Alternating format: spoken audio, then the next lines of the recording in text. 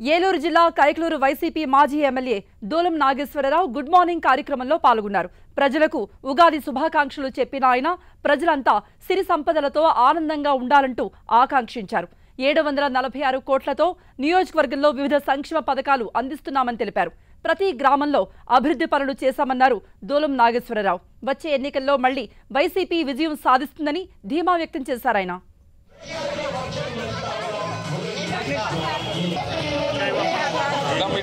శుభ్రంగా ఉన్నాయి శుభ్రం చేసాము వాళ్ళేమో హైవే వాళ్ళు ట్రైన్ కట్టాలి మీరు కట్టమంటున్నా.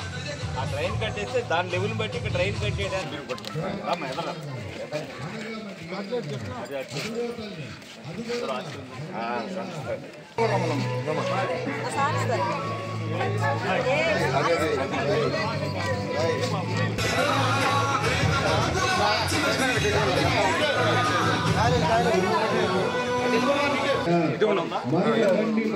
ప్రసాద్ ఒకసారి ఫోటో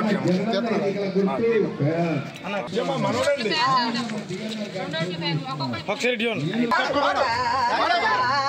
ఎంత పంచుకోవా